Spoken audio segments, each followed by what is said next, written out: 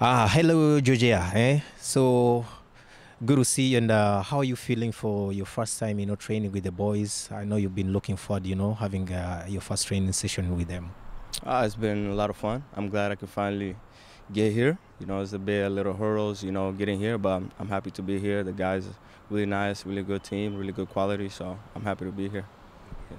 So, do you know anything, or some of the boys here? Have you been communicating with them along the way? Um, I know Innocent. I I communicated with him on Instagram because I also know he plays uh, in America as well.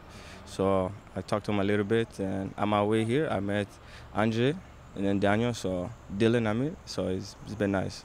Yeah. Jojea, it's your first time in the national team of Rwanda. Uh-huh. Uh, tell us a little bit about Jojea. Who is Jojea Kwizera? Ah, Jojea Kwizera, you know, is a young man who loves football. You know, he's there's not really much to say. You know, he's just someone who loves football, who brings passion to it, and he's a hard worker. Because that's all my life has always been about working hard, and so that's who I am. Just always continuing to work hard. So, did you have this dream of playing for the national team of Rwanda? And uh, when were you informed that you know uh, Rwanda wanted uh, you as their player?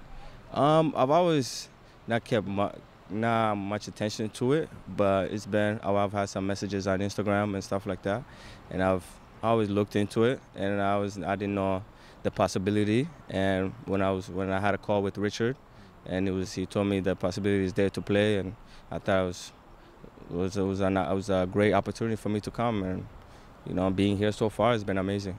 All right. Thank you so much and good luck tomorrow. Thank you.